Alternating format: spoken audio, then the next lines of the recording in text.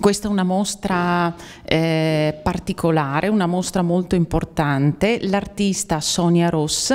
e il titolo della mostra è Empty Eden. Eh, l'artista è veneta e ha già messo in luce le sue qualità pittoriche per meriti e riconoscimenti in vari spazi istituzionali, partecipando ad importanti e significative rassegne d'arte. E pertanto noi eh, siamo davvero orgogliosi di ospitare quest'artista eh, soprattutto perché eh, il nostro intento è quello di valorizzare questo bellissimo palazzo del Trecento che è appunto il palazzo di Casa Gaia da Camino. È un piacere e un onore aver avuto il privilegio di scrivere alcune righe di presentazione del catalogo di queste opere. Il modo migliore per apprezzare un'opera d'arte ovviamente è venirla a vedere sul posto, fermarsi, osservarla, riflettere e vedere che cosa l'opera d'arte ti suggerisce e che cosa tu vedi nell'opera d'arte, che cosa tu proietti nell'opera d'arte come l'artista ha mandato il messaggio a te stesso, tu lo devi restituire all'artista, è una specie di gioco di specchi. Tutti gli aggettivi che in genere si usano per, eh, dal punto di vista tecnico servono per avere un'educazione, se vogliamo, anche semi-professionale di approccio all'opera d'arte, ma non influiscono sull'emotività e eh, sulla eh, sensazione che eh, l'osservatore prova.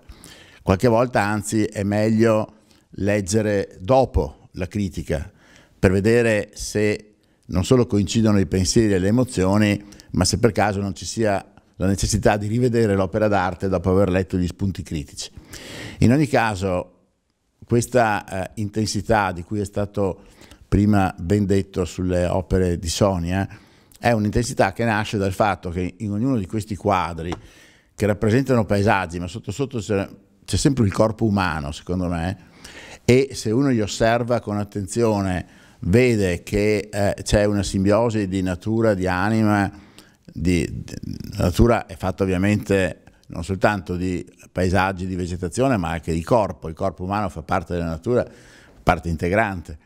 E eh, vedere come eh, vengono assimilati e, eh, e connessi ecco, questi, due, questi due aspetti del corpo e della natura. E come l'osservatore li vede e come l'emotività dell'artista entri nel tuo cuore, ecco questo è secondo me l'aspetto più importante di questa visione cumulativa di queste 25 opere che eh, dovete venire a vedere. Perché, eh, ripeto,